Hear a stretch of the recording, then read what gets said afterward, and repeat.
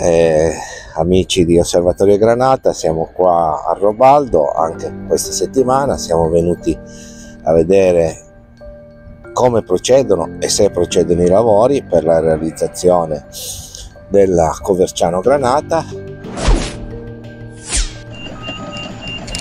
Buongiorno. Faccio due riprese per i tifosi del Toro. No, per cortesia, non riprendete. Abbiamo già avuto casini. Per cortesia,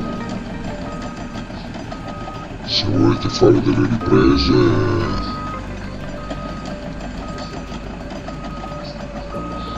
mettetevi lontano per cortesia.